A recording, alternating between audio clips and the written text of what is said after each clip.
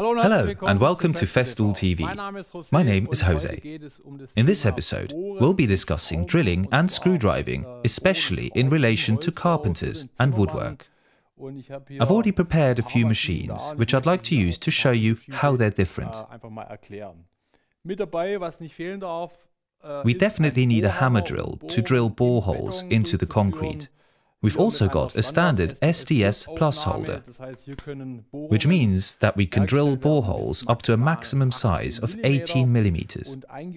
The drill hammer has an integrated pneumatic axial hammer mechanism, which means that the runout follows in the axial direction and this aids the drilling process.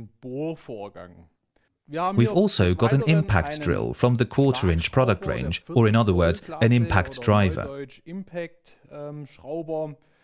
This means that we've got quite a compact machine with a standard bit holder measuring only a quarter of an inch.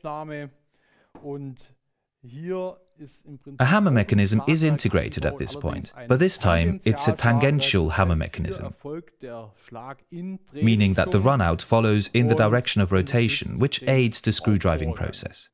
But you'll also need a conventional cordless drill. I've got the PDC 18 here which is a cordless percussion drill with a hammer mechanism that can be switched on. This is a notched plate hammer mechanism with the runout following in the axial direction for drilling operations. In stone, cavity blocks or similar materials, for example. You can use the corded DR20 for any drilling or screwdriving applications where a cordless machine isn't powerful enough.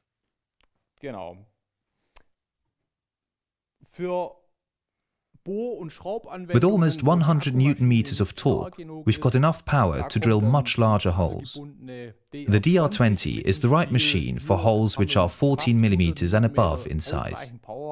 wirklich auch größere Löcher, also ich sag mal von 14 mm aufwärts, da ist die DR20 die richtige Maschine.